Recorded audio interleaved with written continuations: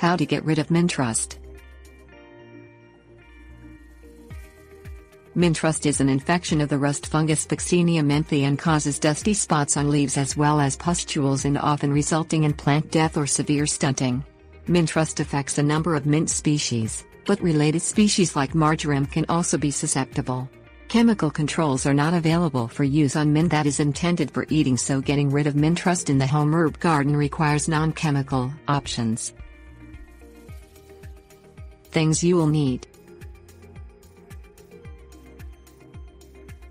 Garden spade Thermometer Remove infected plants as early as possible.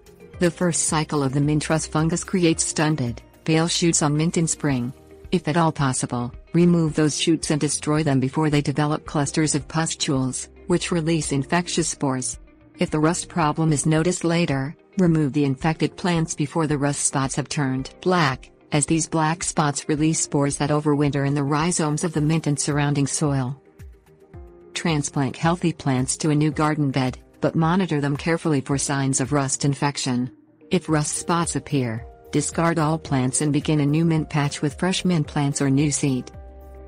Prevent mint rust spore that may be present in the rhizomes of plants from surviving winter by washing the rhizomes in water that is 111 degrees Fahrenheit in autumn. Leave in the hot water for 10 minutes then cool them in cold water and replant. Do not exceed 111 degrees Fahrenheit, as this will kill the plant.